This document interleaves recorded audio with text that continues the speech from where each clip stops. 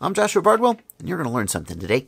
Micro quads are super popular, and they're getting better and better, but putting a receiver in them can be a little bit tricky. Even the smaller receivers that are available today can be a little bit big for some of these, especially the little two inch quads.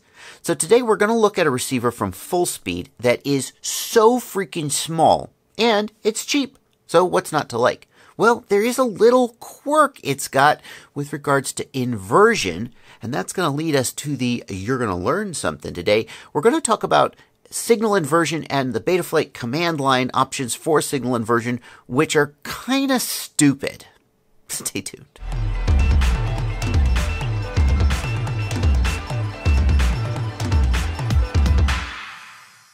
If you were to ask me what FrSky receiver to put into a micro quad, two weeks ago I would have said the FrSky XM Plus, and that is what we're looking at here. This is the XM Plus. It is pretty small. It's not too expensive. It's got diversity. It doesn't have telemetry, so it's not a full telemetry capable receiver. But you know, for micro receivers, for micro quads, maybe that's not as important as a lot of people don't care about that. So XM Plus. But there's a better option today. Well, better along some axes. This is the Fullspeed nano receiver, and you can see if we hold them side by side, wow, it's even, it's like half the size of an XM Plus. Now, there are some differences that you're going to want to be aware of. As you can see from the fact that it's only got one antenna, this is not a diversity receiver. I think that matters less for micro quads because, especially just based on the size of the battery, you're probably not pushing range very much anyway. But it doesn't have uh, diversity, and if that matters to you, then you may want to pass it up. The other thing it doesn't have is it is a D8 mode receiver, not D16. So what that means is you're going to need to set failsafe manually. There's a function in the Taranis where you set failsafe using the Taranis. The Taranis communicates the failsafe settings to the receiver. Well, that only works with D16 receivers. If you use model match, which is the ability to uh, prevent the Taranis from binding to a receiver except unless it's a specific receiver. That doesn't work with D8. It only works with D16. And SmartPort telemetry doesn't work with D8. It only works with D16. But if you're willing to live with those little quirks, this is a heck of a nice little receiver for micro quads. It's about 10 bucks.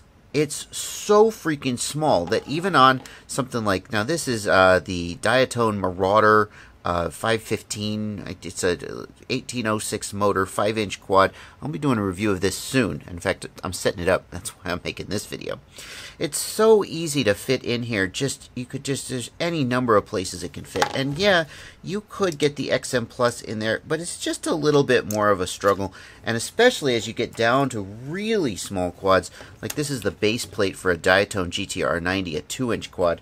Man, this the, the space savings here and the short little antenna is just this is really nice. But there is a quirk with this that you're going to want to know about, and that takes us to our discussion of S-bus inversion, and for that, we're going to go over to the computer. So here's the product page for this receiver over at Fullspeed's website, and if you're going to use this receiver, there is something you need to know. This receiver puts out uninverted S-bus. And that is really nice, especially if you're using an F4 flight controller that doesn't have uh, an S-Bus pad or maybe doesn't have U. It's, it saves you a little bit of hassle, but it also means that you need to go into the command line and you need to enter this command. And if you're using an F4 flight controller, you may need to use a regular UART RX pad instead of the S-Bus pad on your flight controller. Um, so FrSky, uh, or rather Fullspeed, have tried to save you a little bit of hassle by having their receiver output uninverted S-bus, but because it's not what your flight controller is expecting, it's added a little bit of hassle. So it solves one problem, but it makes another. Now you know. But what's the deal with inversion and how do, what is this? What is all this serial X inverted anyway? What does that mean? Let's talk about that for a second. When we start talking about inverted protocols, the first thing to establish is that digital signals are represented by ones and zeros, right? I think pretty much everybody knows that. And if we were to go down and look at the electrical signals that represent the ones and zeros, a simple way to think about that is that a high voltage represents a 1 and a low voltage represents a 0. So we could define our signaling voltage as 3.3 volts or 5 volts. And when this when the voltage is at 5 volts, we're sending a 1. When it's at 0 volts, we're sending a 0. And that's more or less how it works. Inverted protocols, basically they just flip that. So an inverted protocol would say, I think a, a 1 is going to be 0 volts, and a 0 is going to be 5 volts. And that may strike you as kind of contrary. Like, who cares? Just do it, right? There's some truth to that. But there are also some technical reasons why inverted protocols may have some advantage. Uh, I recently learned, and, and I checked, and this is apparently not just total BS. I recently learned that running a serial signal through an inverter can help the signal be a little bit more resistant to noise. I don't know why. Okay, so there's there's technical reasons why inversion might make sense, but inversion is super annoying because the UARTs, what's a UART? A UART is a hardware serial interface. So if we look at the flight controller and on the flight controller there's that little chip which is like an F3 or an F4 or an F7. It's basically a little microprocessor and it has hardware in it that lets it interpret serial signals because that's such a common thing that, that we need to do is read ones and zeros from external devices. That's just built into the chip. Well, some of those chips have the ability to interpret an inverted signal and some of them don't. Specifically, the F3 and the F7 can handle an inverted signal natively. They just know, just tell them, hey, this is an inverted signal. I got it. But an F4 and an F1 can't do that. And so if you feed an inverted signal into an F4 or an F1, it just won't be able to read it. Now, why does this matter? Because SBus and SmartPort are inverted by sort of that's just how FrSky decided to define them. And so when you have an S-bus receiver, it is sending an inverted signal. And how do we work around this? Well, on an F3 or an F7, there's no need to work around it because they can handle the inverted signal natively. But on an F4, which is the, the most popular flight controller today at least, the designer of the board has to put an inverter on the board. So the signal comes out of the receiver and it's inverted, inverted and it goes through an inverter and it's uninverted and then it goes into the microprocessor and everything is fine. You with me so far? That's why F4 flight controllers have dedicated S-Bus and smart port pads and not just UART receive pads or transmit pads like F3s and F7s do. The, the dedicated S-Bus and smart port pads on those F4s have an inverter built in.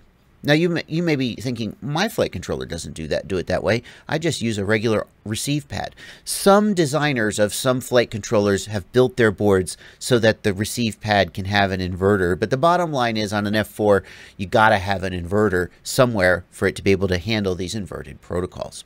But there's another way to solve this problem and that's to do what's called the uninvert hack on your receiver. The uninvert hack means that you find somewhere on the receiver to get the uninverted signal. See, the signal comes out of the receiver's processor uninverted, and then the receiver runs it through an inverter to invert it, and then we run it through another inverter to uninvert it, and it's all a bunch of makes my brain explode. But you can solder a wire to a particular place on your receiver. If you Google FrSky uninvert hack, you'll find pages from guys like uh, Project Blue Falcon and Oscar Liang showing you how to do it. Why don't I have one of those? Well, because they already did a great job at it, so why should I? You can do the uninvert hack on your receiver, and then you are getting the uninverted signal, and then you can just feed that uninverted signal to any UART on your flight controller, even if it's an F4. But here's a problem. When you tell your flight controller, this, this UART is getting an S-bus signal, or a smart port signal, the flight controller expects that that signal is going to be inverted. So if you're feeding it an uninverted signal, you got to go in there and say, hey, this is S-Bus, but it's not inverted. I've done the work for you. Don't worry about it. And in order to do that, you got to go to the command line. And that's where, if you, if you haven't got lost yet, things get a little bit more confusing because the way the Betaflight devs have chosen to name these command line options and the way they work is like mind-bogglingly confusing. Only a computer programmer would have made this decision. I'm going to try and help it make sense for you. Let's see. Get inverted. There we go, perfect.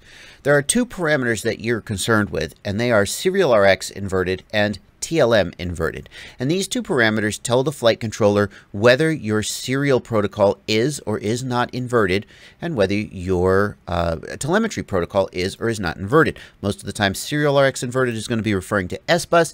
TLM inverted is going to be referring to SmartPort because they're pretty much the only protocols that are inverted like this. Everybody else is uninverted, and you don't have to go through this nonsense. Okay, so I've got a regular S bus receiver. I haven't done any hacks or anything. It is putting out S bus. It's time for a quiz. Is S bus an inverted or an uninverted protocol? It's inverted. We talked about that. S bus is an inverted serial protocol. So, should serial RX inverted be on or off if you're using S bus?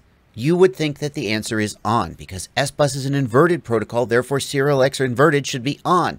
And you would think that SmartPort being an inverted protocol, then TLM inverted should be on. But that is not how they work. It works exactly opposite of that. The way it works is if the serial protocol is inverted from the way it usually is, then serial RX inverted is on. And if you do the uninvert hack on your receiver, therefore you have inverted the inversion of the protocol, then serial RX inverted should be on. Because now the inverted protocol is uninverted, so you inverted it. Kill me. Kill me now. This has caused so much confusion. I see what they were getting at. What they were getting at is they want to have they don't want to just say SBus inverted on or off. They want to be generic and say, well, any serial protocol could or could not be inverted from its normal inversion status. But in trying to be sort of generically applicable, they've made it totally backwards and confusing for everybody. Here's the takeaway. The takeaway is that if you have done the uninvert hack on your receiver, you need serial X inverted to be on, even though actually your signal is uninverted. And if you've done the uninvert hack, you need TLM inverted to be on. And if you have not done that, the default state of those is off. Basically, if the protocol is in its default state, then serial RX inverted and TLM inverted should be off. And if you have hacked and reversed the default state for the protocol, then they are on. And that is independent of whether the actual signal is inverted or not. Well, there you go, folks. That is the Fullspeed Nano Receiver V2. Uh, we looked at the FrSky version, but there is also an iBus version for FlySky users and a Spektrum version for folks using Spektrum radios. This is not the most full-featured receiver in the world, but at a price of about 10 bucks, it is definitely worth considering, especially given its tiny, tiny size for your micro builds. There's a link to all three of the receivers down in the video description. Go check it out. Let me know if you've got any questions about signal inversion down in the comments. Thanks for watching. Happy flying.